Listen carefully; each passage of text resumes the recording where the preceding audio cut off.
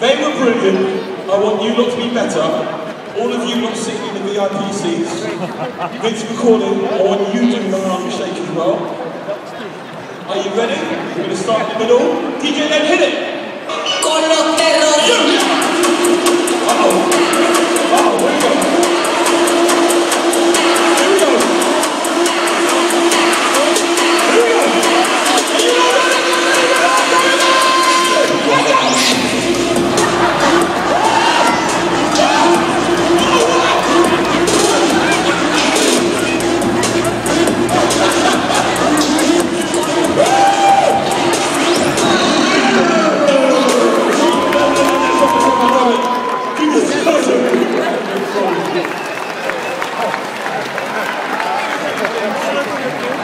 When we were talking about doing this, we were going,